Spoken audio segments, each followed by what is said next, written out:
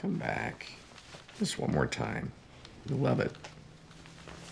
My wrists are tired. I can't defeat new Decimator 98 all alone. Come on, we're a team. You understand, right?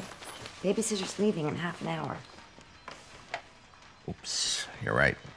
Scram. Got a massage coming by in five. It was at that moment she realized the romance was already gone. Headshots!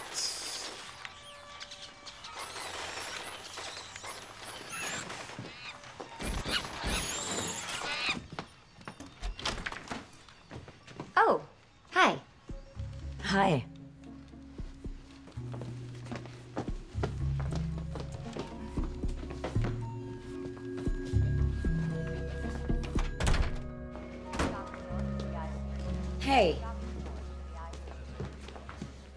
So I'm seeing you tonight. Yes. And you would have, even if you hadn't told me that. I was just wondering, your masseuse. Brandy.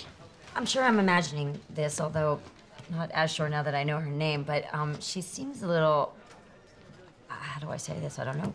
Um, a bit slutty. She's a hooker.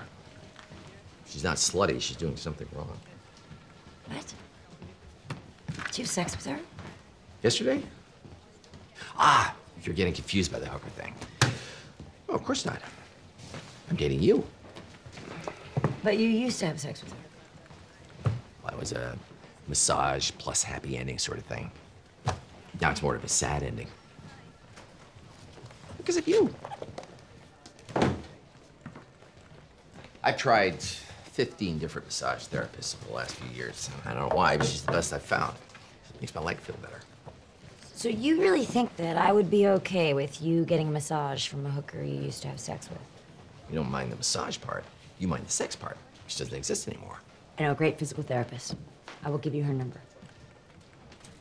Why would I give up one who definitely works for one who might work? Because I asked you to. Well, that's not really an argument now, is it? I won't see you until you stop seeing her. Well, that's an argument.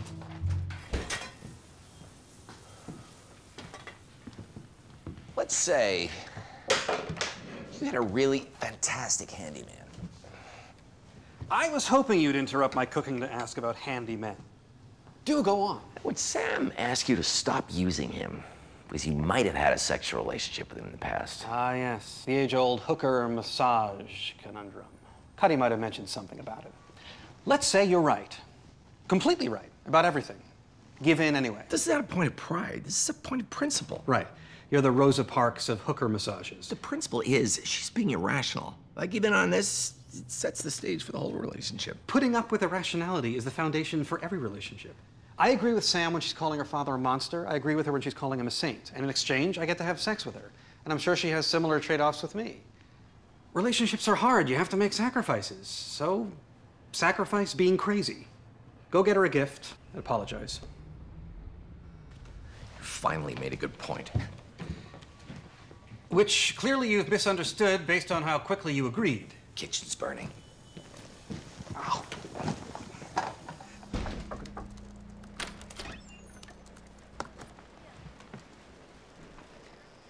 I am Felipe. Oh, you've got to be kidding. Dr. House was worried how you left things. He's giving you massage. But as an admission, he was wrong? Yes. Well, tell him thanks, but I have a meeting with Dr. Katz in 20 minutes. He says you would say that. And to say, no, you don't. Well, tell him he needs to stop canceling my appointments because I will just reschedule them. He says you would say that. And to say, eh, that Dr. Schatz is a fat, lonely moron who, in an effort to have contact with human female, makes the same exact complaint about parking spaces every month. And you know you have to stop enabling him.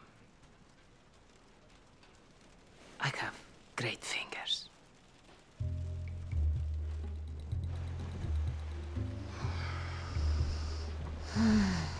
That's so nice. Thank you. How long have you been a masseur? What is that? Masseur. A massage therapist? Oh, no, not long. Uh, how did my boyfriend find you? Boyfriend, Dr. House. he is your boyfriend? Why is that surprising? I just mean if he found me, I do not think he's got no girlfriend. Are you a prostitute? Are you a cop? Then no. Get your hands off me. Seriously? A massage from a male hooker? He was? Huh. It doesn't bother me at all. I guess we both learned a valuable lesson. Except that I didn't used to have sex with him, you idiot. Plus, he was a gay hooker.